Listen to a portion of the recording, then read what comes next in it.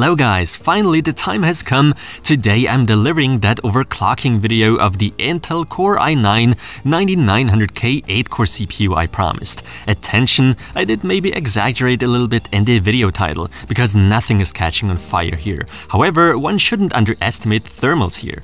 After all, we are talking of almost 90 degrees Celsius at max, with an AIO liquid cooler by the way. I managed to take this beast up to 5 GHz, more was impossible alone the temperatures wouldn't allow for more. But now there's the question, how much extra performance do 5 GHz get us, since the turbo clock is already at 5 GHz, you know. But it needs to be said that aren't 5 GHz across all cores at stock, other than with today's overclock. Juicy 5 GHz on all cores. In my case, that turned out to be a bit of a challenge.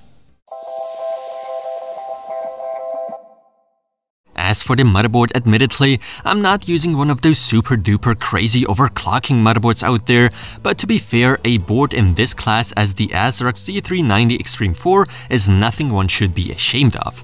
This is not a cheap board actually, but sure, in terms of overclocking the 9900K, we potentially could be looking at slightly better results with more expensive Z390 boards. Alright, now to get one thing out of the way, I once again have to remind you, my results or rather overclocking clocking success or even failure does not necessarily have to apply to you. Your mileage may vary. As we know, overclocking depends on the silicon lottery. Some chips overclock really well, and with others, you just have bad luck. Just for reference, under load at stock settings, my 9900K, according to CPU-Z, boosts up to 4.7 GHz at 1.264 volts. Now, in order to get those 5 GHz on all the cores manually, I went into the BIOS, dialed in a multiplier of 50 for all cores, didn't touch any AVX offset setting, and I didn't work with a fixed voltage, but rather offset voltage. This allows the CPU at idle to not operate at the fixed voltage constantly, which could potentially have negative impacts on power consumption and temperatures, and thus maybe even lifespan.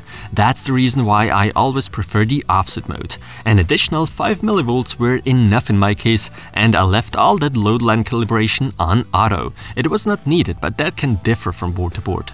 Anyway, I've got my 9900K stable at 5 GHz across all 8 cores at a voltage of about 1.344 volts. I wouldn't go any higher because I already had trouble keeping the temperatures in check with that voltage. It does however run completely stable and I did test for several hours to really make sure. And no, I didn't just stress test with Cinebench as some like accusing me of doing. But oh well, the majority of you guys only wants to know one thing, how much more power does one get with an overclocked 9900K?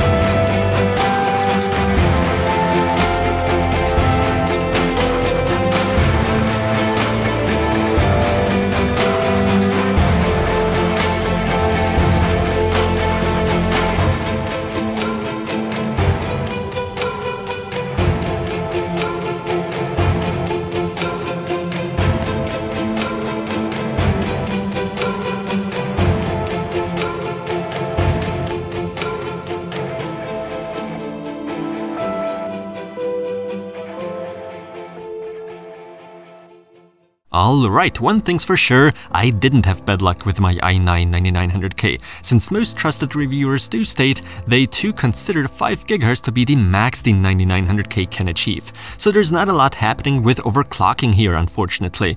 To me it seems the architecture has reached its max. Sure, there are exceptions that speak of 5.1 GHz, but let's be honest, it doesn't make a big difference either. The limiting factor simply is the temperature, and keeping those temps in check even even with a decent AIO liquid cooler can be quite the challenge. And one should think the 9900K finally features a soldered IHS, but when it comes down to temperatures it needs to be said that not everyone actually deals with the same results. Apparently that's depending on the motherboard a fair bit, which in turn means not all of us benefit from the full potential of performance the i9 CPU has to offer, but that I even mean stock settings. Either way, what can I say about the performance performance gain? Well, yes, something has changed at least. Sadly, we only really get to notice that performance boost in synthetic tests or in aspects that heavily rely on multi-threading, so Cinebench, rendering and the likes, but not even then in each and every case. But all in all, that overclock did disappoint me to be perfectly honest, because when looking at the results I got in games, we do see the average frame rate hardly did increase. Most of the time it remains unchanged compared to what what we've seen at stock. Just to let you know, MCE, so multicore enhancement, was disabled in case you wondered. Something that bothers me with this overclock is that those 1% lows have actually gotten a bit worse in a couple of game titles. In others, however, we see a slight increase, which turned out to have nothing to do with the voltage. I checked that. So long story short, I wouldn't advise you to go and overclock the i9-9900K. I know for a fact there are people out there praising the CPU to be some kind of god among CPUs with fantastic efficiency and for being so overclocking friendly, but in all honesty, I don't see much of that here. If you were to ask me, I'd say leave the 9900K at stock settings and do not overclock. Temperatures and power consumption still won't look super duper great compared to Intel's own predecessors or cheaper models, but at least it's a situation that's still manageable.